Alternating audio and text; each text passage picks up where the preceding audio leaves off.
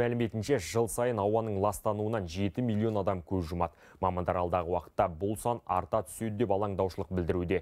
Өйткені климаттың өзгеру салдарынан орман өрті жиелеп, салдарынан атмосферадағы зиянды заттардың мөлшері артып барады. Тақырыпта әріптесім Жұлдыз Атагел тарқатады.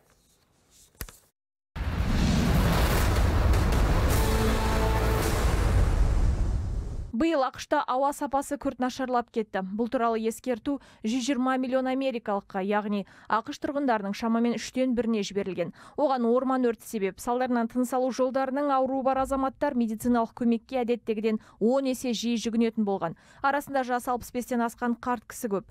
Биыл орман өрті жиілеп кеткен Канада шекарасына жақын орналасқан Нью-Йорк тұрғындарына оңайға соқпай отыр.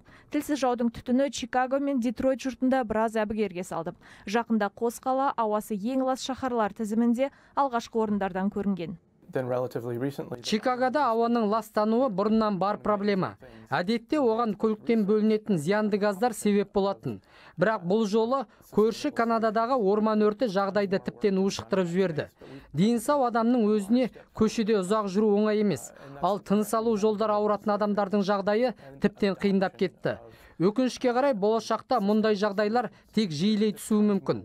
Өйткені климаттың өзгеруі салдарынан орман өрті де көбейіп бара жатқанын бәріміз де көріп отырмыз. Осы климаттың өзгеруінің салдарынан Канада биыл ел тарихында орман өртінің ең нашар маусымын бастан кешуде. Осыған байланысты маусымның соңында атмосферадағы көмір қышқыл газының мөлшері рекордтық деңгейге жеткен. Бұл тек Канаданың өзімен көрші ақшқа ғана емес, тіпті мұхиттың ар жағындағы Еуропа тұрғындар үшін де қауіп төндіріп тұр. Менің жасым 87-де. Ауаның ластануы денсаулығыма қандай зиян әкелетінін білемін. Сондықтан сыртқа шықпауға тырысамын. Ал шықсам бетпердемен жүремін. Кейінгі елу жылда ауаның ластану деңгейі осындай межеге жеткенін алғаш көруім.